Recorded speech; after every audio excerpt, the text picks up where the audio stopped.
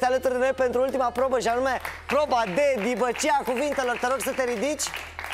Oleu. Să iei un loc pe scaunul uh, din stânga, eu am să fiu în dreapta. Nu te-am anunțat de treaba asta, dar trebuie să vedem cum te descurci cu cuvintele și mai ales cu limba atunci când uh, situația o impune.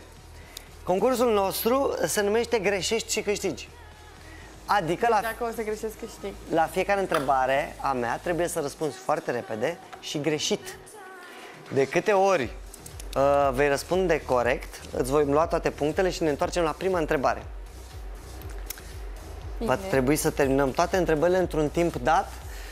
Hai să punem un minut și jumătate pe ecran, colegii, să vedem cât de bine se descurcă colega mea. Ai înțeles să până acum regulile?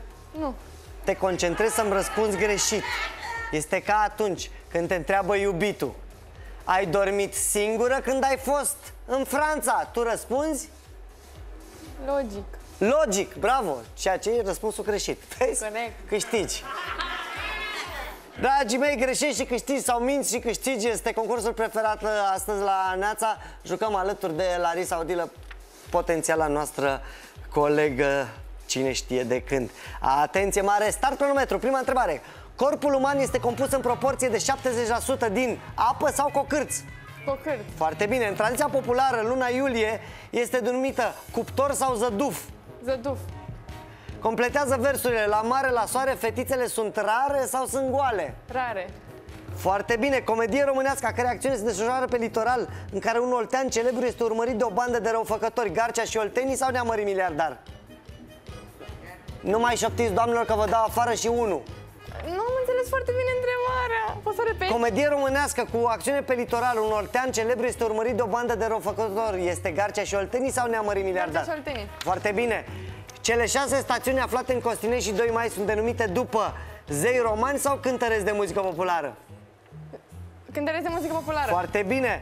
6. Într-o melodie lansată în 2012, Connector sau Relu afirmă că el vara nu bea bere sau nu doarme. Nu bea bere. Surprinzător, țara noastră, țara, în, nu, scuze, surprinzător, țara în care se consumă cea mai mare cantitate de înghețată pe cap de locuitor din lume este Norvegia sau Vatican? Vatican. Foarte bine, potrivit statisticilor, 41% dintre români nu s-au dat niciodată cu cremă de protecție solară sau cu banana gonflabilă. Ziceți vine!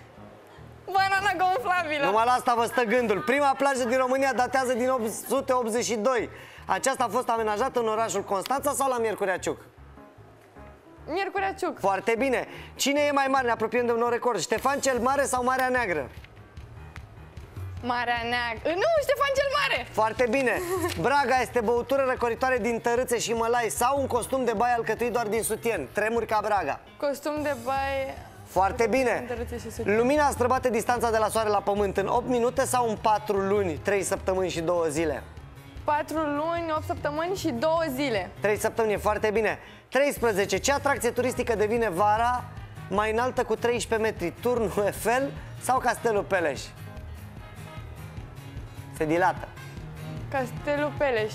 Foarte bine. Pe 5 iulie 1865, Marea Britanie se impunea prima limită de viteză pe șosele din istorie. Aceasta... S-a terminat timpul. Ah! Te-am În- bătut.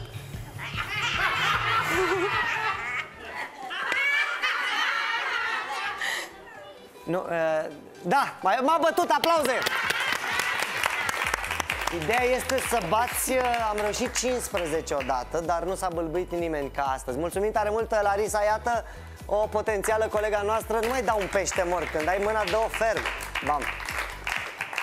Uh, 21 de ani, așa să ne ajute Dumnezeu, uh, iată, are atitudine, are carismă și are zvâc.